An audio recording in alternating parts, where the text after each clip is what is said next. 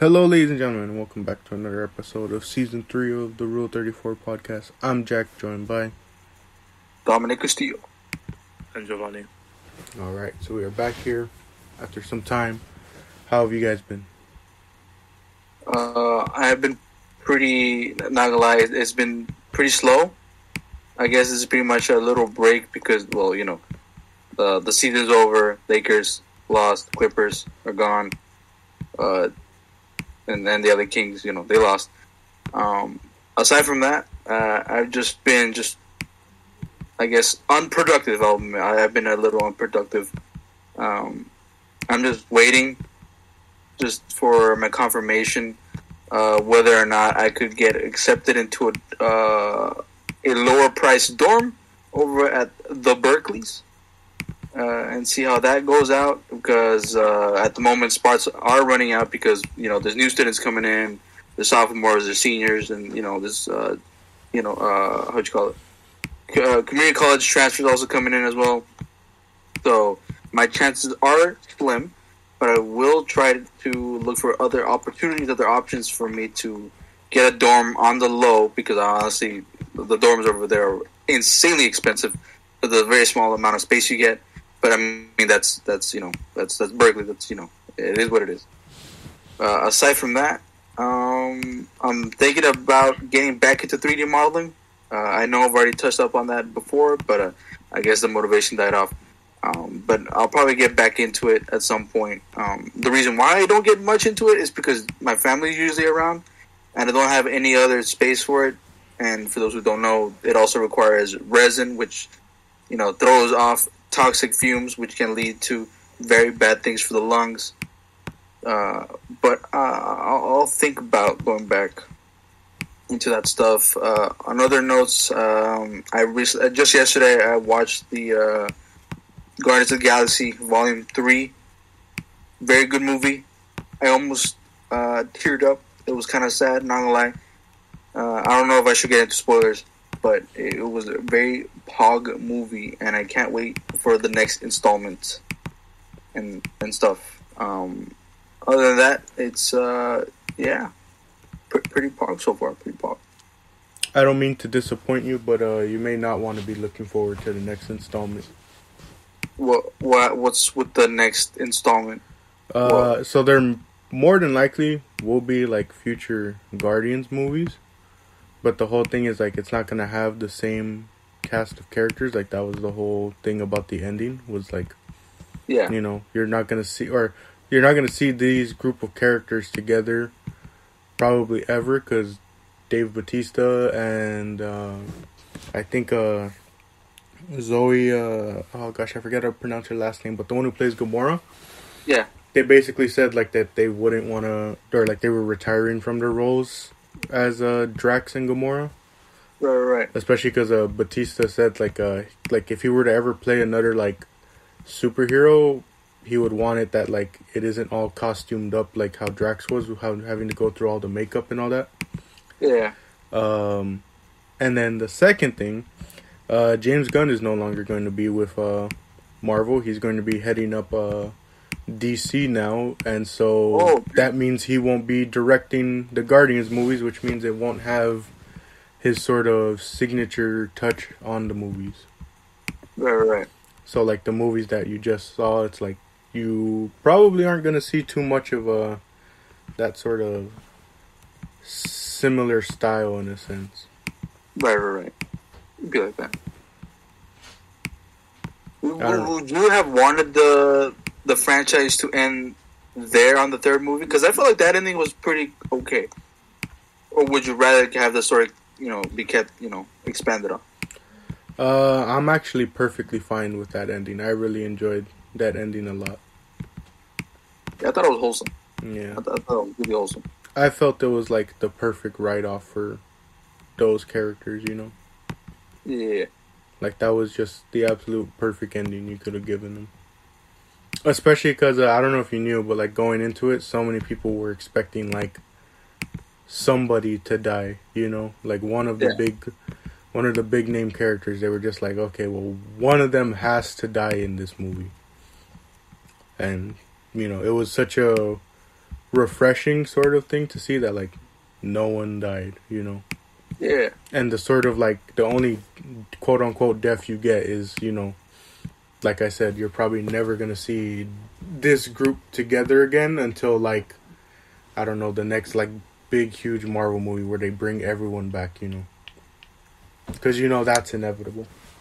Yeah. But yeah, I really enjoyed it. I I remember the moment we finished watching the movie, I said it myself. I was like that is probably the greatest trilogy that Marvel has ever like put out.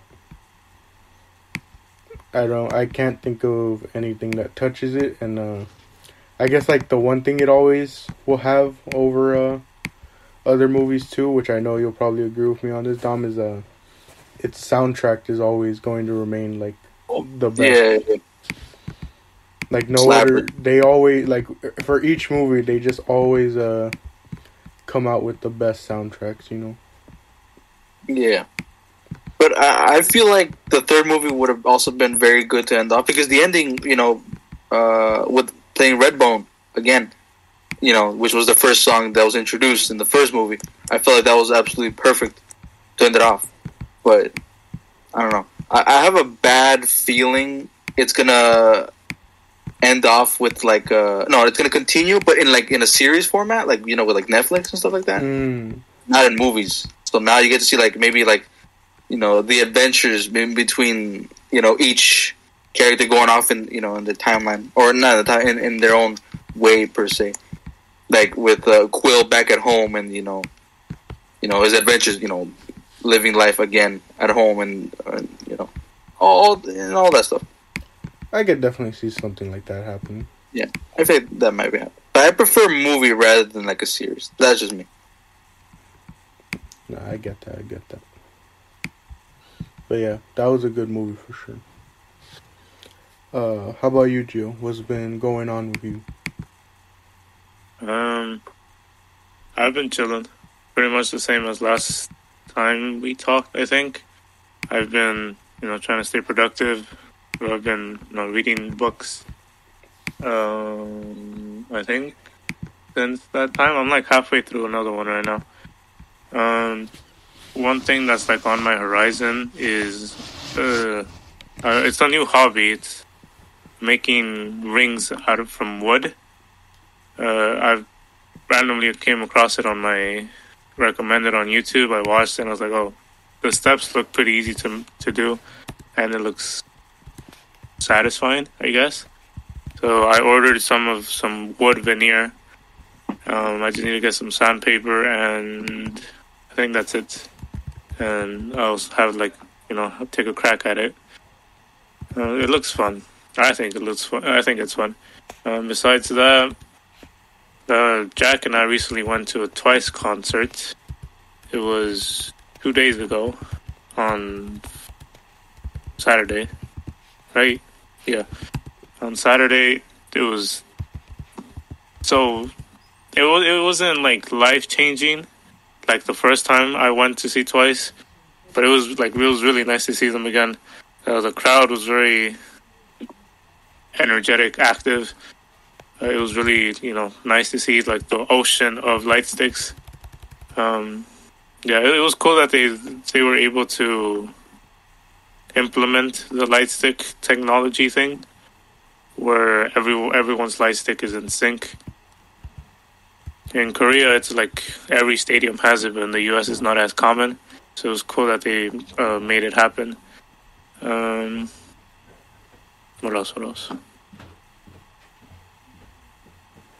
Pretty much it. Uh, there's not much to update on. All right. Uh, yeah, similar sort of uh thing, you know, where uh, I don't know. I just been, I've been trying to write recently. Uh, I got back into uh my sort of groove, I guess you could say, earlier in the week. Um, I guess the main issue is like I always have a bunch of ideas to write about, but then it's like it's always a struggle when you start trying to write about them. But uh other than that, like Gio said, we went to that Twice concert on Saturday. Was very fun. Uh SoFi is a huge stadium, um, and it was very fun to see them there. Uh, we had some pretty good seats and a pretty good view. Uh, the only downside was uh, SoFi's like sound management wasn't the best. Like uh, I don't know, at times it was like it was definitely hard to hear them. Like I don't know, it felt like there was too much feedback, but it was still such a really great concert. I really enjoyed it. It was so unique, and uh, I don't think, or I think my ears were probably like permanently damaged after a concert like that. Because my goodness, were uh, a lot of there was a lot of screaming during that concert. But uh, other than that, I mean, I don't know. It's one of those things where it's like, uh, uh, how how do you want to how do I want to put it? It's like, uh, you almost in a sense struggle to do anything after, you know, like after having like such a a, a high like moment in life. It's like afterwards you're just like, man, how am I? you- almost in a sense struggle a bit because you're like you think about the high you got from going to like a concert like that and then in the days after you're just like how do you even replicate something like that afterwards you know I think it's called post concert depression or something like that. Um, but it's usually it's, it's kind of like that, but it's more on the like the sentimental side side where you just want to go back to that thing. But yeah, I can relate. It's kind of like, it feels like surreal to me. Like I was there, but I, I didn't actually feel like I was there. It was just like it just felt like it was like it's too good to be true kind of thing. i think another thing I contributed is just how quickly it flew by Yeah. But nonetheless it was still a very great concert i really enjoyed it uh, So the SoFi Stadium is so sick. I, I really, I really like the layout of it. It's so cool. yeah it, it, it's really cool uh it, it it's pretty crazy dom i don't know if you've ever seen it but gio and i were there and we were counting like the, the levels Uh-huh. there was about like five suites i want to say and like Five levels of suites. Yeah, yeah Oh, that's a lot.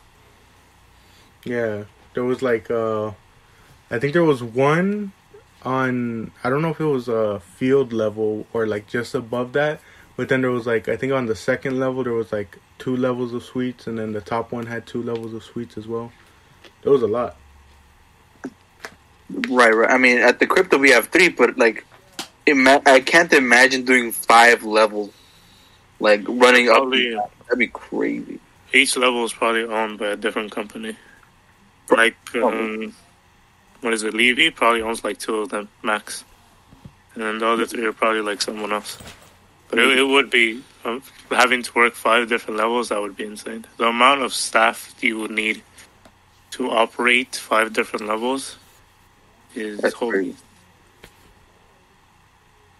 But the good thing is that like the football season isn't as long as an NBA season, so I- Cool. I guess it's, it's not that bad.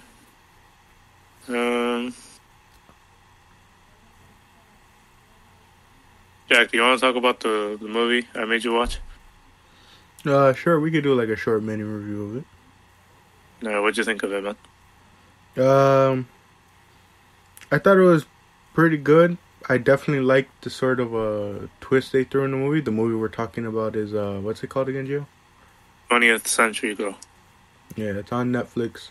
Uh, like I said, yeah, I thought it was pretty good. I liked the sort of twist involved where it was like uh, they got the the guys mixed up. I can't remember. Was it because like he was wearing the other guy's jacket that day or something like that?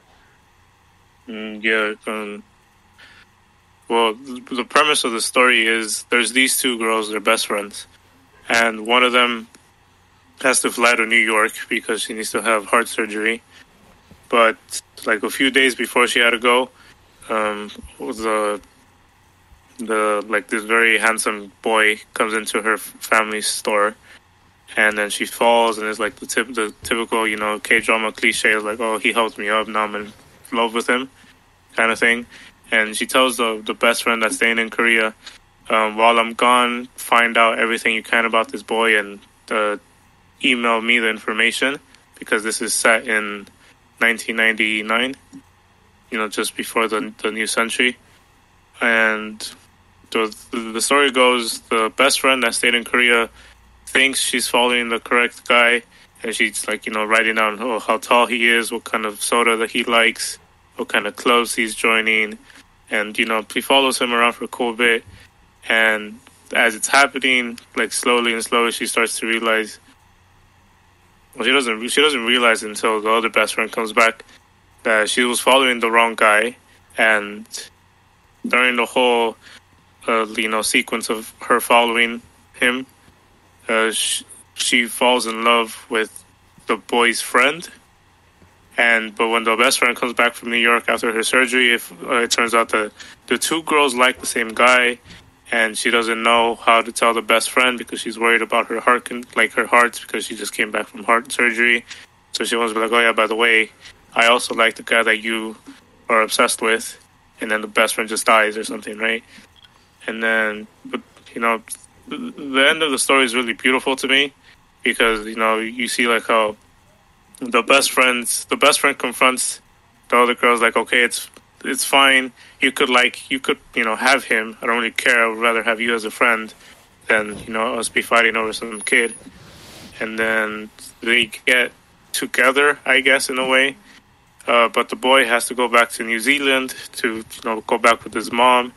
But they made an agreement that they were going to stay in contact. And they did but then after a year uh, they the boy stops um, uh, sending you know emails to the to the girl, and the girl's like, "Oh, where you've been? Uh, how come you haven't called or anything?" And time goes on and on and on, and after like when she's like close to graduating from u- university, uh, she starts going on blind dates, and then the guy, one of the guys that she goes on a blind blind date with, uh, has the same name as the guy that she loved in high school, and then she breaks down. She's like, "Oh, I'm gonna hate you forever because you never, uh, you you never contacted me ever since." Years go by, and then she gets this inv- she gets this inv- invitation to an art exhibit. Uh, I forgot what the name of it was, but when she gets there, she starts seeing like memories of her high school days. Uh, you know, because she was part of the broadcast club, so everything was recorded pretty much. And then as she goes to this tree display, uh, she sees that the the boy that she loved in high school passed away uh, exactly a year after um, they separated. So in 1999 they separated. In 2000 he passed away, or in 2001 he passed away. And one of the like the very captivating things about the film is when she's looking at this old tape that she finds of of the boy uh, the boy says, I can't wait to see 21st century you. And obviously, he never got to see that because he passed away. Um, right? And the title of the movie is 20th Century Girl. So to him, he the only memories he has is of the 20th century girl. And that's kind of like the point of the title. And I do. To me, it's probably my favorite movie of all time. From start to finish, I was like completely captivated in the story.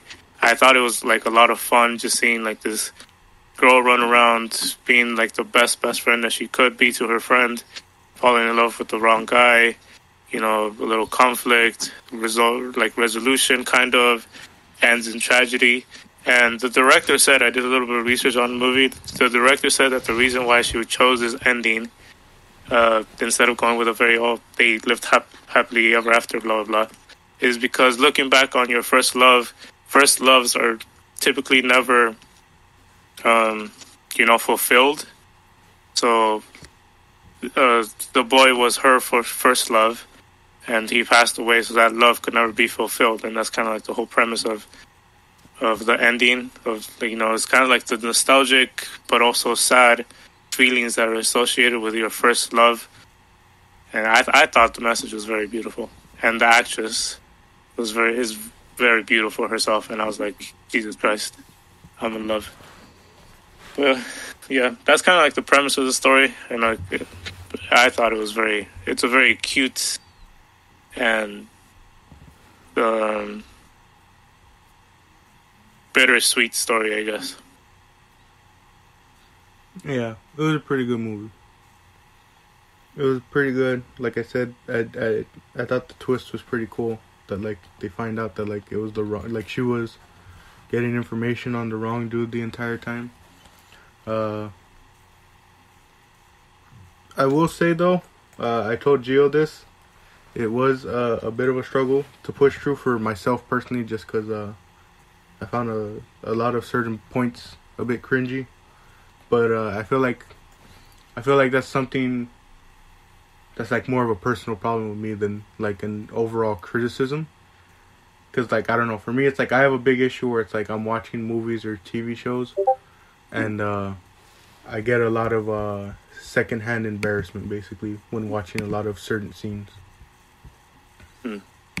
Like I, I don't know what it is, but like uh, I don't know. It's like sometimes it's like it's so bad that like I'll literally have to pause and like go do something else. Sometimes like that's how bad it gets. Sometimes where I'm just like, ah, like I, I feel like it's with everything too. Like I don't know what it is. Like whether it's a TV show, a movie, whatever. It's like there's just so much that makes me like physically cringe.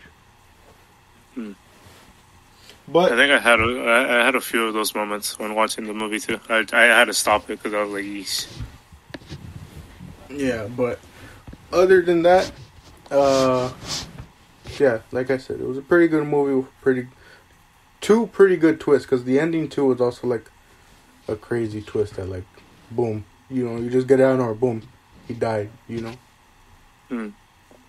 And it was funny because I like I saw like a couple like it always happens. Anytime I watch something, it's like I end up seeing like a bunch of like videos or like posts about it on social media, even if it's like something from like years ago, you know. And it's like I saw people trying to like theorize like whether he was still alive or something. I'm like, bro, there's they literally showed the gravestone. What do you mean he's still alive? Hey man, it's kind of that if you don't see them die, then they're not dead. True. But But yeah, yeah, that that, guy's dead. that was a pretty good movie. Hmm. What's it called? Uh, on the topic of uh, school, because that's where this movie took place. Uh, Gio, you sort of brought up the the idea of talking about school. Um, yeah. Uh, I should have prepared some questions beforehand, not gonna lie.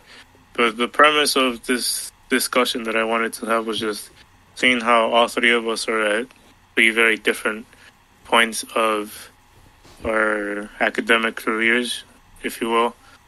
Um, I thought it would be an interesting discussion how on how we felt about school because Dominic, you're one year away from finishing, I think, or one Uh, semester away.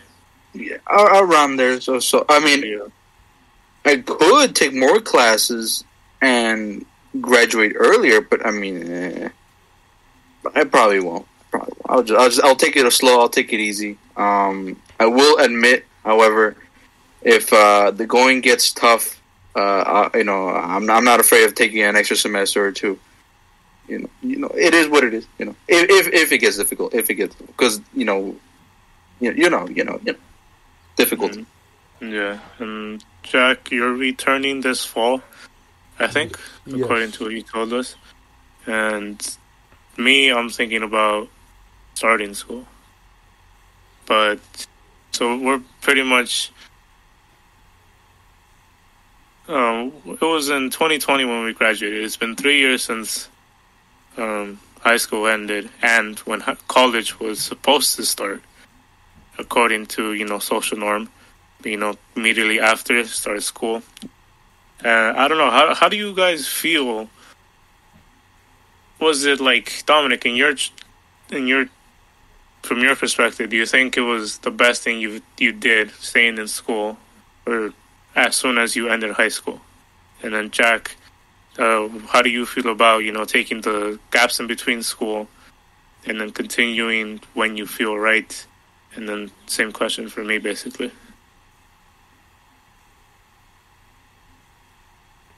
Mm. Mm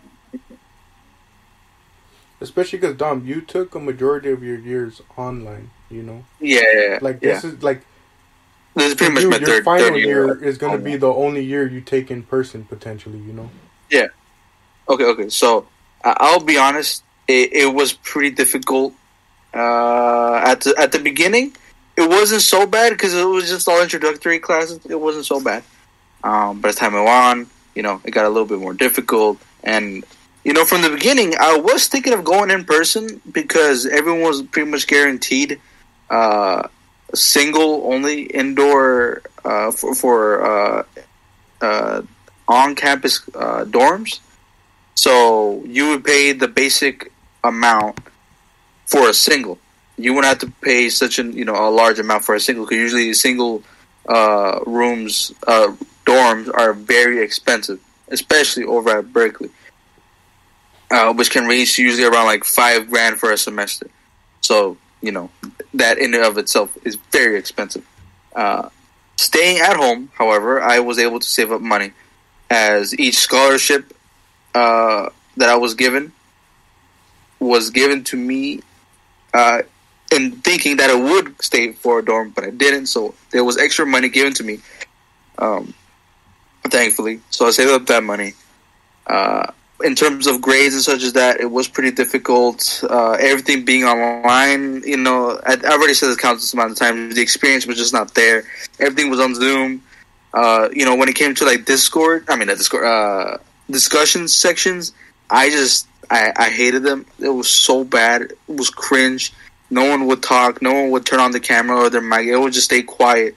There might be a couple of students who want to like try to like you know liven up the mood or try to uh, I guess participate and you know I guess try it the best. But I mean, no one else would want to just try it. Just I guess go ahead and continue on with like discussions. And so it, it, it, it was situations was not handled well. This sort of attitude and behaviors pretty much stayed the same for like a good year and a half.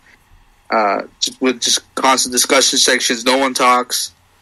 And once we go back to our uh, our main room and on Zoom, you know the professor. Oh, you know what you guys talk about? What how, what, what did we learn from each other? No one no one would speak. No one would speak. There would be a couple students who would try to speak up, but you know not not that information was exchanged between students and you know the professor tried their best to to do the most what they could as everything everything being online and uh it it how how would i say this uh it, it, it was just not the best of times and now berkeley is pretty much forcing everybody except for i think international students to go in person.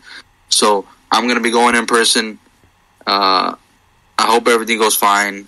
It's going to be a little weird considering I'll be pretty much entering in, uh, just I guess with no known, you know, I'm supposed to I guess know everything at this point about the school, but I've yet to even step foot onto the school, uh, which you know it's a bit of a problem. But uh, that's why I'm going to try to enter and get a dorm very early on. This is why that's why I'm applying now.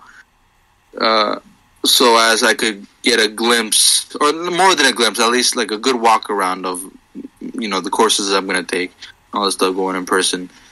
Um, but I will have to admit that online was, uh, in, in in terms of like having to write notes and all that stuff. You know, everything was on a computer, so I could just quickly take out the Notepad app, just you know, type everything down, and uh, and as compared to uh, you know open note tests and all that stuff, the professor tried the most to I guess uh, not have that happen during exams. So we would at times have um, our cameras on, uh, and I know that other schools were pretty much worse. That you would need like a 360 degree camera or like multiple cameras in your vicinities to make sure you're not cheating. I forgot which school did this. I'm not sure if it was USC. I don't recall. But there, there were some schools that made you, you know, have video proof and like microphone proof and like and all that stuff to make sure that you're not cheating. You don't have like another, you know, an extra person with you, or you don't have like a, a phone or a calculator or notes, you know, all that stuff. And uh, thankfully, Berkeley wasn't didn't get to that extent.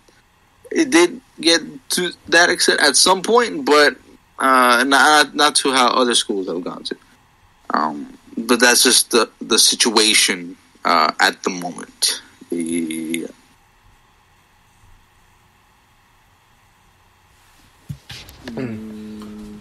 Man, yeah, I definitely, Definitely feel you on a lot of that. Where it was just like I don't know, the experiences didn't feel the same when it was online. Uh, in terms of my sort of perspective on the whole thing, so uh, for those that don't know, the whole story goes. Uh, I did a full year at UCLA. I did my fall or well they have quarter, so I did my fall quarter and I was like two, three weeks into doing the winter quarter when they announced that they wanted all the classes to return to uh return to in person.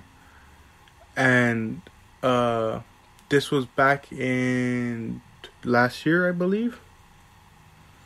And the reason I decided to take my break was like a mix of things uh like around the same time my family got COVID for the first time, and it was like almost all of us except for one of my grandmas. And the school, in the same letter that they sent out saying that they wanted, you know, classes to return to in person, they also said that like nearly, I think it was like 2,500 students, faculty, and staff tested positive, and yet they were still like, oh, but you guys can come in person. And it was just like, why? You know, why are we coming in person when that many people are testing positive, you know? But so it was like that was a big contributing thing. I was like, I don't I don't want to go back in person when you're having this many people still getting sick, you know? And plus you're going to you're going to put me into classes with like I saw one of them was like 200 people, you know? And then uh the second sort of contributing factor was that it was like it was coming to be the end of my uh, second year and they were like oh you need to like be making progress towards your major. But at the same time i was like how am i supposed to make progress towards a major that i don't know what i want to do in you know? Like i don't know what i want to do as far as major. I had english down just because like you know that was whatever you know like that was something I could do, but it's like that's not what I really wanted to major in. But it was like I just had to have like a place uh, placeholder in a sense. And it's like even if I wanted to go with that, anytime I try to take any classes that would go towards fulfilling that major, they would always fill up like on day one, and I wouldn't be able to get into any of them. So I was like, how am I supposed to make progress, you know, and see if this is something I do want to continue doing if I can't even get into the classes for it, you know? And then right. uh that's one of the like the major i don't mean to cut you off but that's like one of the major downfalls of um, the education system is like you need to take classes for your major. But if you can't take those classes you have to take these random ass classes because you need to take classes. And then you're just wasting your time instead of actually working towards what you want to do. Yeah that's definitely how i felt. And like I tried whenever it came to having to take just you know variety courses, I tried to take some that would at least you know uh what's it called um I tried to take some that were like you know various sort of things to try and like see if I could build interest towards anything you know? It's like I just could never find anything of note to become interested in. And you know, I took that that break and then uh at the start of this year, I basically, you know, I told my dad, I'm like, I don't want to go back to UCLA. I think I'm just gonna go to LACC because it's less of a commitment, you know, especially like financially and also like time wise. It's like it, it's gonna give me more time to figure out what exactly I want to do with my life, you know. And so in the fall, I'm going to be going to LACC. But in terms of like the thoughts on school and all that, and you know, the difference between graduating three years ago actually to like to date three years ago and like now, I don't know. It's like, uh, I guess one of the biggest struggles I've had is like, actually realizing it, you know? Cuz like the the way time passed in the pandemic, it was so long but yet it was short at the same time, you know? And like Right. nothing nothing that happened is really of note during it all, you know? So it's like yeah, we graduated, but it never really felt like we did, do you know? It never Right. really felt like there was this uh this moment Conclusion. of of like realization that like, you know, we graduated, we're adults now, you know, like there wasn't it didn't really feel like there was this big transition, you know. It's like at times I still like struggle to like realize that like I'm 21 years old, you know. 3 years have passed since I graduated. Um I've spent a year out of school and now it's like gonna like soon close in on like a year and a half out of school where I basically feel like I did nothing with my life, you know. It's like yeah, I did all this stuff during it, but it's like I don't know, I guess you could say because of the way I grew up, I was essentially made to feel like uh if I wasn't doing something involving school, it felt like I wasn't doing anything worth of time or while, you know? And like that's one of the big reasons I hate school is because it made me feel like you know, anything I did that wasn't involving school was useless, you know? And so it's like Mhm. all that time I spent out of school, it was just like I kept trying to have I kept trying to battle myself and like you know I'm not being useless. I'm not useless for not being in school, but also it's like I felt useless cuz it's like I'm not doing anything with my life, you know? I feel that way now where it's like a lot of times I spend my days even if I do productive stuff, I just feel like I'm I'm worthless cuz I'm not doing anything of no. I'm not working a job. I'm not in school. I'm not doing anything to contribute to anything, you know.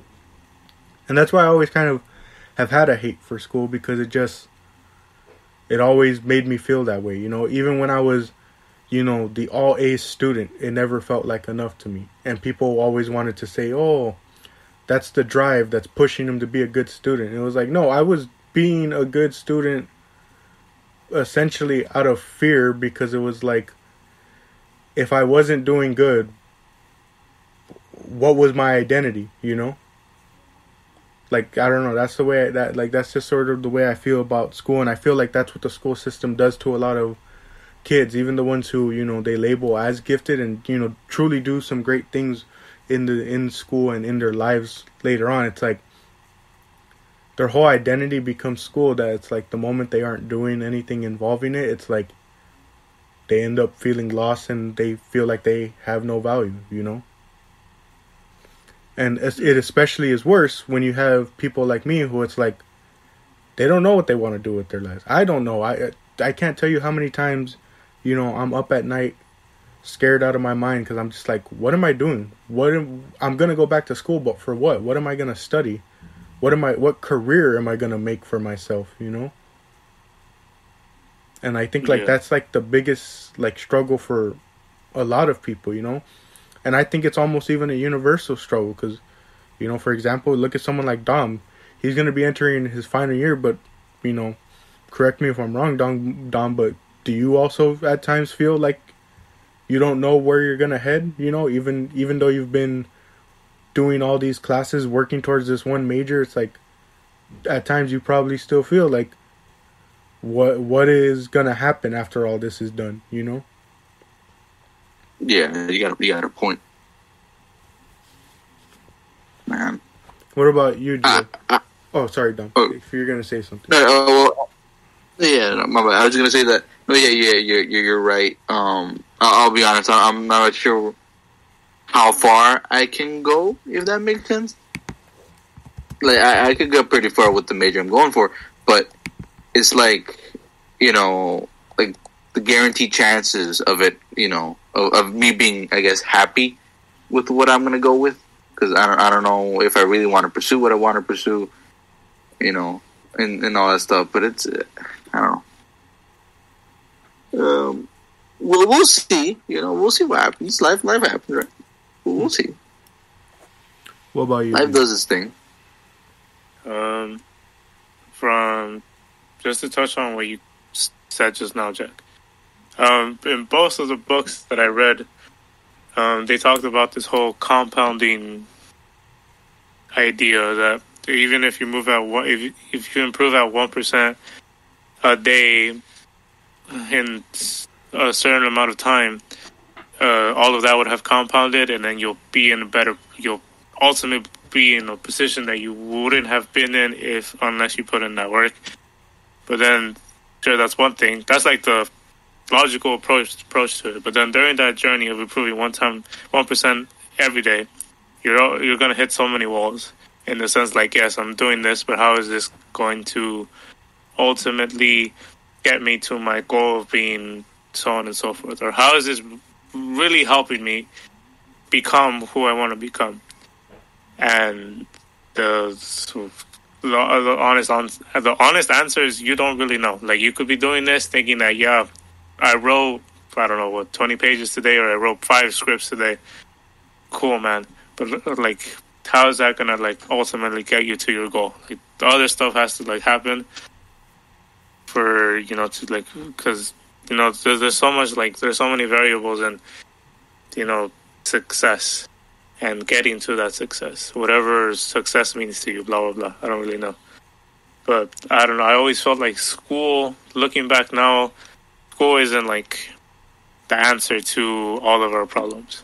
Just by going to school doesn't mean that you're going to, you know, uh, have it easier in life. If anything, just gonna have it's gonna be even more difficult, or uh, even more disappointments when you finish the four years of uh, you know, university, come out of it with a degree, and then you're just like, all right, cool, what now? You know, it's, it's, it's- I really hate that at Tojima they they pretty much lied to us, saying that college is the only answer. Not really. Like Dom and I work at crypto, we make good money. Sure, during the off season we don't have work, we just get a part time job, and off of that we could probably like you know live comfortably, comfortably, and at work, our salary each year is gonna keep growing. There's just it's, it's always going to keep growing. Our wages are always gonna go up unless there's like a recession or something. It's like just having a job, you have money, you can take care of yourself and be happy. That's cool. Did I need school to get at the crypto? Not really. But then for certain certain prof- professions, if you actually want to go for an actual career, I guess, if you will, um, I feel like going to a community college is not the answer. Because Jack, based on what you said, you, you what if I want to take like a film class, but it's filled up, filled up, so now I have to go take, uh, what's that, indigenous uh, history or whatever, some random BS. I don't care about indigenous people. Why I want to learn about cameras. I want to learn how to film certain the history of film. I want to learn that, but I can't because Jimmy over there stayed up until four in the morning to sign up for classes, and I happened to fall asleep. You know, uh, but for me right now, seeing how we're running low on time, I feel like film school is the only like answer for me. Uh, what I'm gonna do at film school, I don't know. Um, how I'm going to get the money for film school, I have no idea. But hopefully, if it's not, you know, hypocritical of me to say, God will, will put me in the correct path, and that's, that's pretty much it. Hmm. There's also trade schools. That's always the other thing people have said. There's always trade schools where you can learn a trade because those are always needed in the world, you know. Yeah, And those are more like hands-on. So if you don't want to just be sitting there taking notes, it's like you can go to trade school and be hands-on with the field you're learning about, you know. But yeah, I don't know. I, I looked into like different alternatives for because you know LA Film School is here in LA, obviously. 15 Well, like, seconds, oh. by the way. Uh, never mind. Anyways, uh, I've been Jack, joined by. Uh, Dominic. And Giovanni. Thank you all for joining for this episode, and we'll catch you on the next one.